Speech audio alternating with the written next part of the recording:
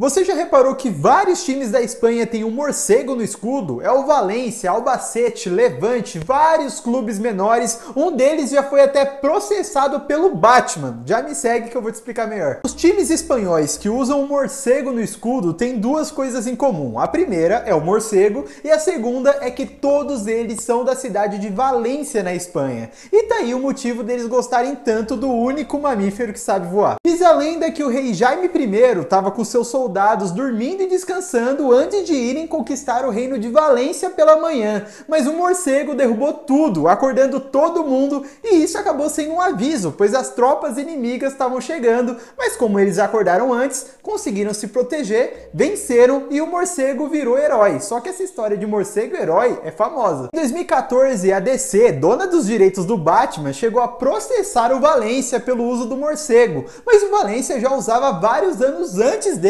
e o processo deu em nada. O Valência até emitiu uma declaração falando que o processo nunca existiu. Talvez teve um acordo de cavalheiros, ou cavaleiros das trevas. O mais engraçado é que o mascote do Valência é um morcego, mas o Levante, maior rival, apesar de ter um morcego no escudo, optou por uma rã como mascote. Até porque com escudo igual, cidade igual e mascote igual, nem seria rival.